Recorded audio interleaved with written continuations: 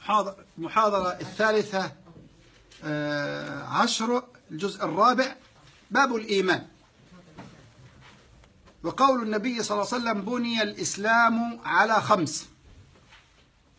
عن ابن عمر رضي الله عنهما إحنا قلنا الرواة كلهم قال قال رسول الله صلى الله عليه وسلم بني الإسلام على خمس شهادة أن لا إله إلا الله وأن محمد رسول الله وإقام الصلاة وإيتاء الزكاة والحج وصوم رمضان. وقلنا أن في حديث عبد الله بن عمر قدم الحج على الصوم. النبي عليه الصلاة والسلام يقول بني الإسلام أي أن الإسلام لا يقوم ولا يتحقق كاملا إلا بهذه الأعمال الخمسة. كما لا يقوم البيت إلا على خمس دعائم. خمس دعائم. أربعة جدران وإيه؟ وسقف مش كده؟ البيوت بتقام هكذا. شهادة أن لا إله إلا الله وأن محمدا رسول الله. يجوز أن تقول شهادة أن لا إله إلا الله وأن محمدا رسول الله. ويجوز أن تقول شهادتي أن لا إله إلا الله وأن محمدا رسول الله. رفعا وجرا. مجرورة بشيء محذوف. أن تشهد في شهادة أن لا إله إلا الله. معناه أن أحدها شهادة أن لا إله إلا الله وأن محمد رسول الله. هذا هكذا نطقت عربيا. طيب. معناها أن أح- لابد من شهادة ال- التوحيد والشهادة للرسول صلى الله عليه وسلم بالنبوة. صلى الله عليه وسلم. وأن محمدا رسول الله. أي أن العمل الأول من أعمال الإسلام الشهادتين. وهذان العنصر الأساسي الذي لا يتحقق إسلام العبد إلا بوجوده. بيقول أنا مسلم ولم يأتي بالشهادتين لا يكون مسلما أصلا. كما يسقط البيت إذا دخل دعام دعامته الوسطى. لو إننا عملنا خيمة بيت من شعر بنعمل له أربعة أركان والخيمة اللي في الوسط اللي بترفع سقف الإيه؟ سقف الخيمة. هذه الشهادة لو لو شلتها إيه اللي يحصل؟ يسقط السقف. كذلك يبطل إسلام المرء إذا لم يأتي بالشهادتين. أما إذا أتى بهما وقصر في بقية الأعمال الأربعة إحنا قلنا هل يبقى كافر؟ لا يبطل إيمان ولا يكفر إنما يكون مؤمنا فاسقا. مؤمنا فاسقا. معنى الشهادتين. أن ينطق العبد بالشهادة أن لا إله إلا الله وأن محمد رسول الله. يعترف بوحدانية الله رسالة محمد بن عبد الله صلى الله عليه وسلم بيصدق بقلبه بهما بيعتقد معناهما. كثير من المسلمين ما يعرفوش معنى لا إله إلا الله. أبو جهل لما راح مع وفد من الكفار لأبو طالب وقالوا للنبي صلى الله ل- لأبو طالب قالوا له يعني خلي بيننا وبين ابن أخيك حتى يعني يسكت عنا ولا يدعو الناس إلى دينه هذا. فقال النبي صلى الله عليه وسلم لعمه أبي طالب دعني أحدثه. فقال له مما قال قال إن معي كلمة لو قلتموها لو أنتم قلتوها لدانت لكم العرب والعجم أصبحتم ملوك الدنيا كلها. قال أبو جهل بجهله وأبيك لنعطيك إياها وعشر أمثالها. يعني إحنا إيه كلمة يعني؟ ده هنديك الكلمة دي وعشرة زيها. فقال النبي صلى الله عليه وسلم تشهد أن لا إله إلا الله وأني رسول الله. وأني رسول الله. لم يرضى أبو جهل. ليه؟ لأنه فاهم معنى لا إله إلا الله. في كثير من المسلمين مش عارفين معنى لا إله إلا الله. كثير من ينتسبون للإسلام ما يعرفوش معنى لا إله إلا الله. فلا بد أن يعرف يكون أولا شاهد باللسان مصدق بالقلب معتقد لمعناها وعامل بمقتضاها. يقولوا لا إله إلا الله عاملة زي المفتاح من غير أسنان.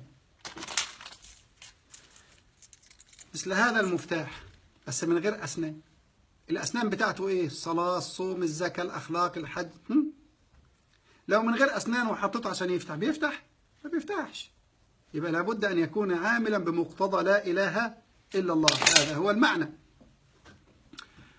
عشان تنفعه ويكون صاحبها في دار الآخرة من الفائزين بالجنة والناجين من النار يبقى لابد أن أن يكون مصدق بقلبه معتقد لمعناها عامل بمقتضاه إنما مجرد النطق بالشهادتين ها والانقياد لشرائع الإسلام ظاهرا مع عدم الاعتقاد الباطن هذا لا ينفع الإنسان في الآخرة ولا ينجيه من النار قد ينفعه في الدنيا بنحكم عليه إنه مسلم وبنوكل أمره الإيه الباطل لمين؟ لله سبحانه وتعالى. لكن الله سبحانه وتعالى يعلم بخفايا القلوب والصدور. يوم تبلى السرائر. يوم تبلى السرائر. آه، يبقى الشهادة التي نطق بها لسانه دون موافقة القلب عليها لا ينطبق معنى الشهادة. وإلا في كثير من الناس بيقولوا لنا السلام عليكم وإن شاء الله وأشهد أن لا إله إلا الله. امبارح جالنا واحد من من منظمة اسمها Peace آه، عارفين اللي بيجمعوا كل الأديان مع بعض يعملوا ال peace العالمي السلام العالمي للناس. جاي هو اتنين هو من أصول آه، صينية. لكن مولود هنا والتانية أمريكية بيضة. وجاية محجبة تماما. لما تشوفيها تقولي عليها مسلمة. تمام؟ وهو دخل المسجد صلى معانا. هكذا قال لي الشباب وأنا رأيته لما سلمت من العشاء لقيته بيصلي. لقيته بيصلي. وقعد معايا السلام عليكم وإن شاء الله ربنا يجمعنا جميعا في الجنة إن شاء الله. وبدأ يتكلم وبدأ يتكلم. هذا لسان. مش كده؟ بيعمل عمل كويس يعني بيبغي عمل طيب. إذا كان بيبغوا السلام الحقيقي يعني مش السلام المضروب في الخلاط. م? إنما ال- ال- ال- السلام الحقيقي عمل طيب. لكن بيقول لا إله إلا الله بيقول محمد رسول الله. كل واحد له دينه يعني. مؤمنين بكذا ومؤمنين بكذا. حتى الإيثيست الغير مؤمنين كمان إحنا مؤمنين بيهم بنحبهم والحب شيء وال ال- ال- إن إحنا نقول ان هم من أهل الجنة والنار شيء آخر. مش كده؟ القرآن الكريم أثبت إن إحنا ممكن نحب الكفار. قال ربنا سبحانه وتعالى للنبي محمد صلى الله عليه وسلم قال له كده قال له إنك لا تهدي من بيحبه أبو طالب مات كافر. قال ها أنتم أولئك تحبونهم ولا يحبونكم. ها؟ هذا إثبات من القرآن الكريم. فالناس آه، لا يكفي النطق باللسان فقط إنما لابد فيها من توافر شروط الشهادة وهي العلم. فاعلم أنه لا إله إلا الله اليقين والاعتقاد والصدق والإخلاص. لابد في الشهادة من اعتقاد القلب به وإيمانه بمعناه. بيؤكد هذا كلام البخاري في ما جاء في رواية أخرى البخاري بني الإسلام على خمس إيمان بالله ورسوله. رواية أخرى بني الإسلام على خمس إيمان بالله ورسوله. هكذا قال النبي في رواية مسلم على أن يعبد الله ويكفر بما دونه. يعني توحد ربنا سبحانه وتعالى. إقام الصلاة الركن الثاني. يعني العلماء دائما يقولوا إن الصلاة هي أهم ركن من الأركان أهم ركن من أركان ال ال ال الإسلام. تعرفين كده مش كده؟ نعم. يعني بيكفي المسلم أن يقول أشهد أن لا إله إلا الله مرة واحدة. الزكاة إذا كان معاه فلوس يطلع معهوش خلاص. آه، الصوم إذا كان قادرا يصوم ما يقدرش خلاص. يطلع فدية ما يقدرش خلاص انتهى أمره. الحج من استطاع إليه سبيلا لكن الصلاة لا. الصلاة لا. ما يستطيعش يصلي واقف يصلي قاعد يصلي مضطجع يجري أعمال الصلاة على عينه على يده على قلبه بأي طريقة؟ ما يستطيعش يتوضأ يتيمم ما يستطيعش يصلي. ها؟ ما تترك أبدا. إقام الصلاة. هذه من أهم أركان الإسلام بعد التوحيد. لذلك جاءت بعد التوحيد مباشرة. تقر أنه لا إله إلا الله وأن رسول الله محمد صلى الله عليه وسلم هو نبي من عند الله ورسول الخاتم. بعدها تقيم الصلاة. يعني تحافظ عليها. وكلمة أقام دي حاجة عجيبة جدا. من الألفاظ العجيبة جدا في اللغة. أقام هذا. أقام يعني أداها في وقتها. وأداها كما أداها رسول الله. وأداها بخشوعها. يبقى أقام أقام الصلاة متعددة. بالخشوع بالسنن بما قبلها من وضوء وتهيئة. كما فعلها رسول الله صلوا كما رأيتموني أصلي. يؤديها في وقتها كلمة أقام. غير الأداء العادي. الإقامة هذه لها معاني متعددة. إقام الصلاة. إقام الصلاة. طبعا معروفة في أوقاتها الخمسة وبشروطها. المعلومة وأركانها وسننها. إيتاء الزكاة. ثالث الأركان إخراج الزكاة المفروضة والنبي فصلها صلى الله عليه وسلم. بيكون عنده مال واللي بيكون عنده أنعام واللي بيكون عنده زرع. كل واحد منهم له إيه؟ له طريقة. صاحب المال لازم يمر عليه الحول اللي هو العام الهجري الكامل ولا بد أن يبلغ النصاب. وحدد النصاب بالعشرين دينار من الذهب يعني حوالي 85 جرام من آه، م- آه، 20 دينار. اللي هو 85 جرام من الذهب آه، بنعمله حاصل ضرب بسعر الجرام اليوم في 85 المبلغ الناتج هذا بنطلع منه الإيه؟ بنطلع منه الزكاة. والأصناف المستحقين ربنا ذكرهم. آه، إنما الصدقات للفقراء والمساكين والعاملين عليها والمؤلفة قلوبهم في الرقاب والغارمين وفي سبيل الله وابن السبيل فريضة من الله والله عليم حكيم. ثمان أصناف. ثمانية أصناف تصرف لمستحقيها. ولو أن كل مسلم يخرج زكاة ماله ما بقى في مسلمين فقراء. وما نشأت هذه المنظمات التي تنادي في الناس يعني إن بعض من إخوانكم يموتون بالجوع ليس بعضا بل ملايين من إخوانكم في الصومال وفي اليمن وفي غيرها من بلاد المسلمين يموتون جوعا. لأن ما ما جاء جائع إلا بواحد أصيب بالتخمة ها؟ لأنه لم يخرج زكاة الإيه؟ زكاة ماله زكاة ماله. الحج هنا ذكروا الركن الرابع. ذكر الحج الركن الرابع. الأصل إن هو الحج بيبقى الركن الكام؟ الخامس. آه، لكن ابن عمر هنا وقع هنا تقديم الحج على الصوم. ال-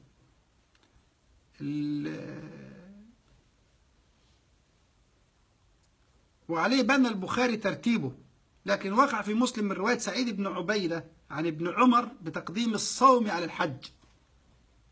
يبقى كذلك نفس الرواية لكن من طريق آخر عن ابن عمر عند مسلم بيقدم الصوم على الحج بيجعل الحج هو الآخر.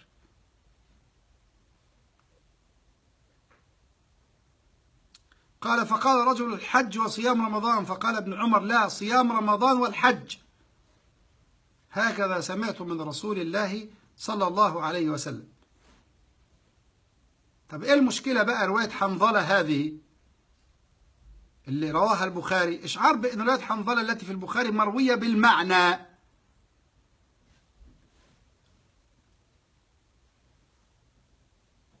إما لأنه لم يسمع رد ابن عمر على الرجل لتعدد المجلس.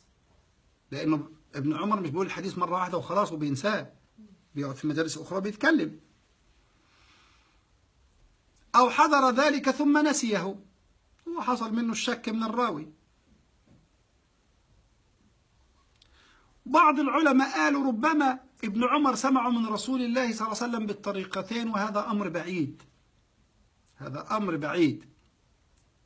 هذا أمر بعيد وبعضهم قالوا إن يمكن عمر بن الخط عمر ابن عمر سمع ونساه تطرق إليه النسيان. فقدم وأخر. قدم وأخر. لكن هذا التنويع بيدل على أنه روي بالمعنى في رواية حنظلة ابن أبي سفيان. وبيده ما وقع عند البخاري في التفسير بتقديم الصيام على الزكاة. آه، فيقال إن الصحابي سمعوا على ثلاثة أوجه هذا أمر مستبعد. إنما إيه؟ دلالة على أنه رواه بالمعنى. رواه بالمعنى. حج رابع أركان الإسلام في هذا الحديث وخامس الأركان في رواية إيه، مسلم. هو مطلوب الحج مرة واحدة في العمر اللي هي حج الفريضة من استطاع إليه سبيلا. من استطاع إليه سبيلا من يملك الزاد والراحلة وأمن الطريق. زاد وراحلة وأمن الطريق. عليه أن يحج. اللي هي فريضة الإسلام. فريضة الإسلام. ومن أراد أن يستزيد فليستزيد. صلى الله عليه وسلم قال تابعوا بين الحج والعمرة. فإنهما ينفيان الكفر والفقر كما تنفي النار خبث الحديد. كان ابن المبارك كان يحج عاما وي- ويجاهد عاما. ذات مرة كان في الحج في الطريق وجد فتاة بتأخذ بعض الطيور الميتة من مكان فيه الزبالة. أجلكم الله. مكان الذي يلقي الناس فيها القذرات فسألها قالت نحن جوعى ولا نأكل شيئا. فأمر الذي كان معه أن يعطيهم أموال الحج كلهم ثم عاد. وقال هذا أفيد من الحج. هذا أفيد من الحج.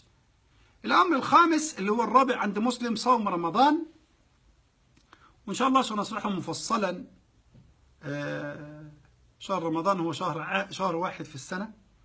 الله سبحانه وتعالى ذكر فيه آه، يا أيها الذين آمنوا كتب عليكم الصيام. كتب إذا بني الفعل للمجهول العلم بالفاعل سبحانه وتعالى لكن دلالة على أن الأمر المكتوب أمر شديد مش أمر بسيط. الصيام مش أمر بسيط. الامتناع عن الطعام والشراب طبعا يمكن في بلاد المسلمين كان أمر سهل لكن هنا مع الجماعة اللي قاعدين ياكلوا ليل نهار دول هيبقى الأمر في منتهى الصعوبة? قال آه، كما كتب على الذين من قبلكم السبب إيه؟ الغاية. الغاية. الغاية اللي هو السقف. اللي هو المقاصد. مقاصد طالب العلم عنده أساس وعنده حيطان وعنده سقف. السقف اللي هي الإيه؟ الغاية. الأساس العلوم حفظ القرآن والسنة. مش كده؟ والأركان هذه اللي هي كيفية الإيه؟ كيفية إيصال المعلومات مع بعض من السيرة وغيرها. من وقائع الناس ثم السقف اللي هو المقاصد. قال لعلكم تتقون. وبعدين ربنا سبحانه وتعالى لما عارف إن الأمر ده شديد على الناس قال لنا ان أنا فرضته على غيركم وغيركم عملوه وأنا كمان عايزكم توصلوا إلى أعلى درجة اللي هو من يتقي الله يجعل له مخرجا. من يتقي الله يكفر عنه سيئاته ويعظم له أجرا. من يتقي الله يجعل له من أمره يسرا. إن الله مع المتقين. ومن يتقي الله يجعل له فرقانا. كل هذه الأمور هذا تحبيب وبعدين أراد التخفيف قال اياما معدودات شوية أيام مش كتير ولا حاجة. أياما معدودات. وكمان من كان منكم مريضا أو على سفر ما فيش مشكلة. عدة من أيام أخرى. شوف كم يوم هتفطر. ها وبقضيهم بعدين. قضيهم بعدين.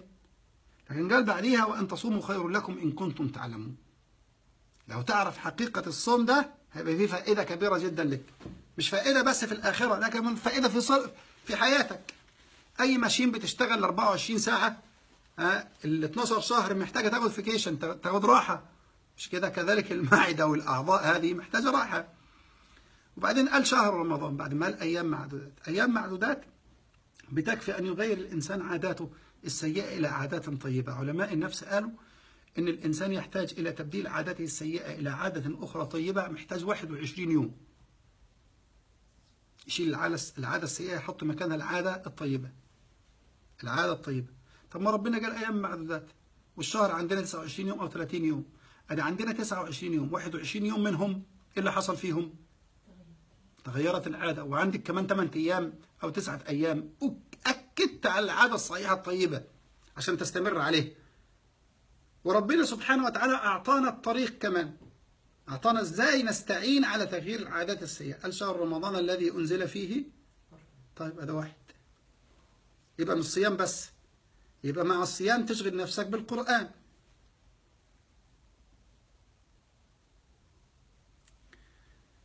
شهر رمضان فيه من الفضائل الكثيرة والخير الكثير إن شاء الله هو خلاص يعني كلها شهر وحوالي ستة أيام أو سبعة أيام ويأتي شهر الخير. اللهم بلغنا رمضان يا رب. يستفاد من الحديث أن أركان الإسلام تنقسم إلى أربعة. منها لساني قلبي منها ما هو عمل لساني قلبي وهو الشهادتان. الشهادتان عمل لساني لا إله إلا الله محمد رسول الله لكن القلب كمان إيه؟ مصدق. لابد من نطق اللسان وتصديق الجنان ومنها ما هو عمل بدني اللي هو الصلاة والصوم ومنها ما هو مالي محض اللي هو الزكاة ومنها ما هو عمل بدني ومالي اللي هو الحج. العيني من شراح البخاري كذلك قال يدل ظاهر الحديث على أن الشخص لا يكون مسلما عند ترك شيء من هذه الأركان. يدل ظاهر الحديث على أن الشخص لا يكون مسلما عند ترك شيء من هذه الأركان. لكن الإجماع منعقد على أن العبد لا يكفر بترك شيء غير الشهادتين اتفاقا. يبقى تارك الصلاة كافر ولا غير كافر؟ إلا أحمد. أحمد يرى أنه كافر. يرى أنه كافر. إنما بقية أهل العلم وبعض المالكية كمان. لكن كل أهل العلم قالوا إذا نسأله سؤال أنت تركتها ليه؟ أنت بتصليش ليه؟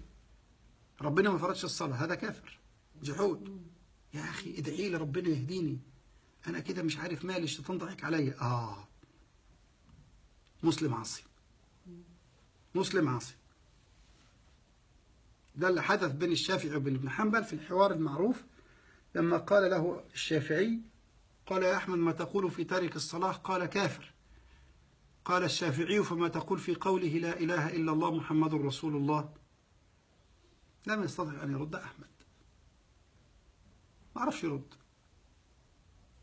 فالإجماع منعقد على أن العبد لا يكفر بترك شيء غير الشهادتين اتفاقا غير الصلاة عند أحمد وبعض الملكية إلا إذا تركها جحودا طبعا. والأدلة على كفر تارك الصلاة كثيرة. العهد الذي بيننا وبينهم الصلاة فمن تركها فقد كفر. وهي عامة في كل من ترك الصلاة ولو كسلا لكن العلماء فصلوا فيها في الايه في مقاصد الايه مقاصد الفهم. وبيؤكد ذلك بيقول رأس الأمر الإسلام. وعموده الصلاة يدل على عظم شأن الصلاة. مكانها عامل زي العمود من الفسطاط الخيمة يعني. إذا سقط سقط الفسطاط سقط الخيمة كلها. إذا فقدت الصلاة سقط دين تاركها فلم يبق له دين لأن مجرد ترك الصلاة كفر يخرج من الملة عند أحمد ده دليل أحمد. عند من قال ذلك حتى ولو تركها إيه كسلا. جحود من ترك الصلاة جحودا الأئمة بالاتفاق كافر. إنما كسلا اختلاف. عند أحمد كافر وبعض الملكية عند غيرهم لا. طبعا هناك مطابقة في كون الترجمة جزءا من الإيه من الحديث. ليبني الإسلام على خمس والكتاب اسمه كتاب الإيه الإيمان. كتاب الإيمان. والباب فيه باب الإيمان وقول النبي صلى الله عليه وسلم بني الإسلام على خمس. وقلنا إن من ضمن ال ال ال الأمور التي ينبني عليها الإسلام أمر لساني قلبي. بني الإسلام الشهادتين لازم تكون لسان وإيه؟ وقلب. نسأل الله العظيم رب العرش العظيم يجعلنا وإياكم من المؤمنين المسلمين المحسنين. اللهم أمين. صلى الله وسلم وبارك على محمد وعلى آله وصحبه وسلم تسليما كثيرا.